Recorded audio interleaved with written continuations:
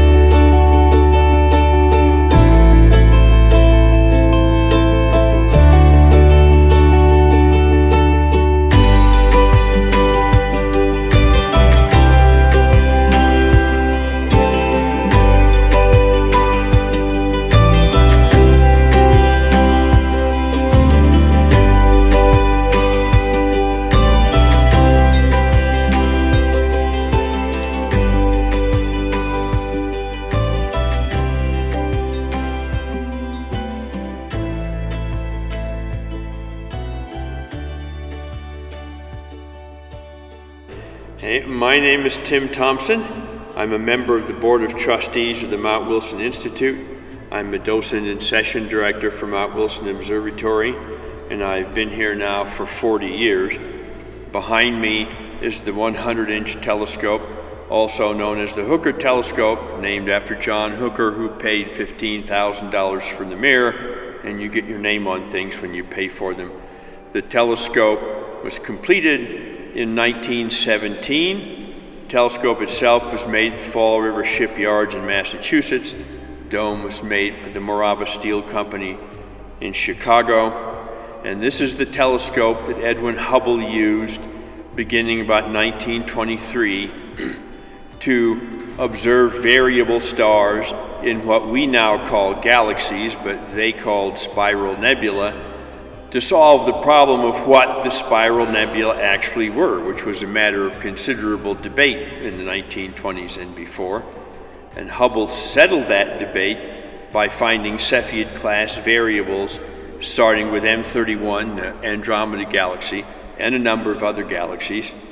And he used the period luminosity relationship for Cepheids which had been discovered by Henrietta Leavitt at Harvard College Observatory in 1912 and calibrated in 1913 by Ejnar Hertzsprung.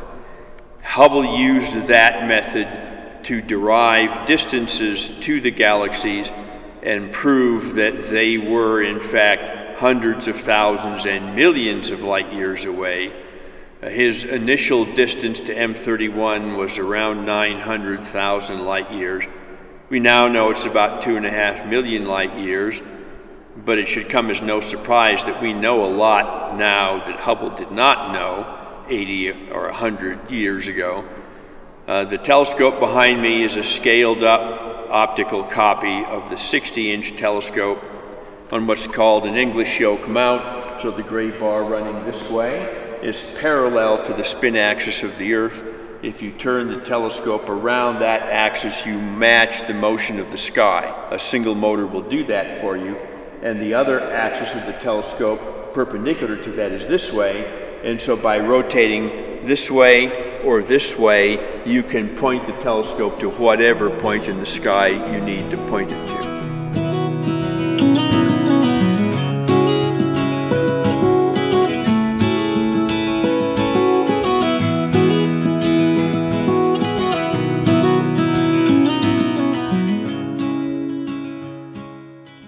Hi, I'm Pat Boyce. Uh, I'm the Executive Director for the Boyce Research Initiatives and Education Foundation, also known as Boyce Astro. And we uh, have been in operation as a nonprofit for since 2013 with uh, bringing students uh, and even adults to uh, enjoy astronomy science. And today we, we've, we've had over 500 students, uh, over 50 scientific papers written, And we now have two observatories, one in uh, both Planewave and one outside of San Diego and one at Sierra Remote Observatory. Here we're doing speckle interferometry, and that's what we do as well in our observatories, uh, which allows you to separate very close double stars and some other interesting things. We also do a lot of exoplanet observations and work with NASA on those and introduce our students to both NASA and writing scientific research papers. I'm Rachel Freed, and we're here with the Institute for Student Astronomical Research, and we have a number of schools up here at Mount Wilson using the 60-inch telescope to do speckle interferometry of close double stars. Now, these students have all participated in a little bit of double star research using regular CCD cameras on remote telescopes, but now they get to come up and sort of do real hands-on work with the big telescope, um, and then they're going to write up their results for publication in the Journal of Double Star Observations. And uh, it's exciting because we have three different schools tonight, two different schools over the next couple of nights, um, and we're sort of building these collaborative teams of students from different parts of California and Washington, actually. So getting students to know other students and work together, and it's really exciting.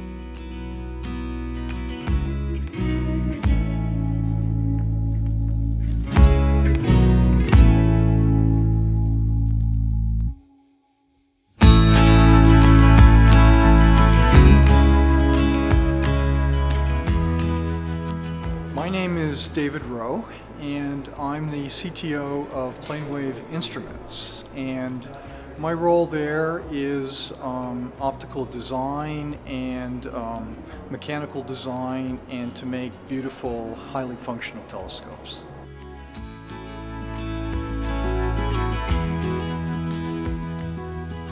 So we're here at Mount Wilson this week at the uh, famous 60-inch telescope. This is one of the places where human beings really discovered the universe. Um, the telescope here was commissioned in 1908 and we learned our place in the universe uh, by eventually taking photographs here. So we're back here this week doing speckle interferometry and that is to se separate very, very close double stars. And when the, when the uh, light propagates through the atmosphere, it gets um, very distorted.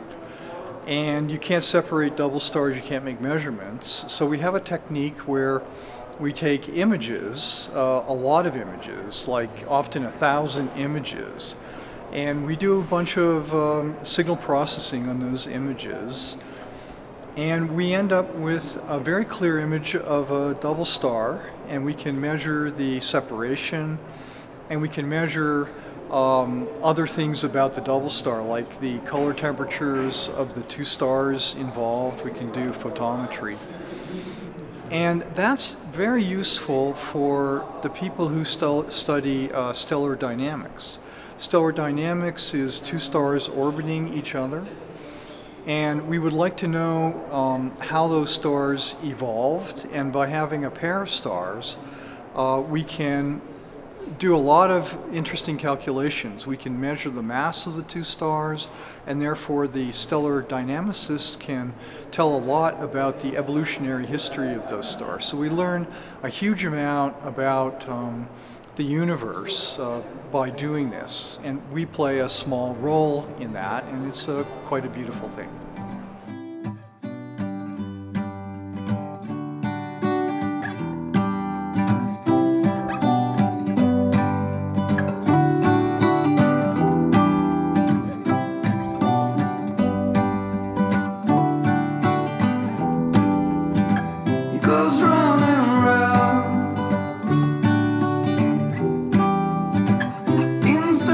but I'm still on the ground.